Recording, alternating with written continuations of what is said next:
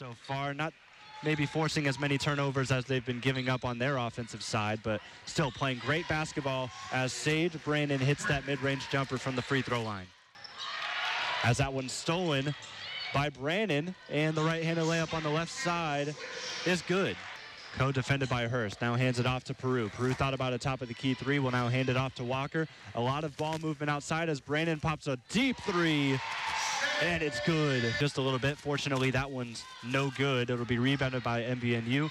And here comes Brannon on the other end. She'll drive inside a great shot. What an angle. Brannon will slow it down now. Krieger back to Koblenz. Koblenz will get a screen from Krieger. She'll now roll inside, and the shot's long, but Brannon right there to lay it up and count it with a foul, and she'll go to the line to make it a three-point play, 53-48.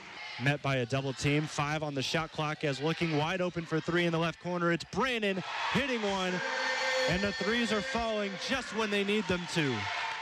Missed, rebounded by Monk, and now the ball's moving. Brannon, another three, another one falls for Mount Vernon.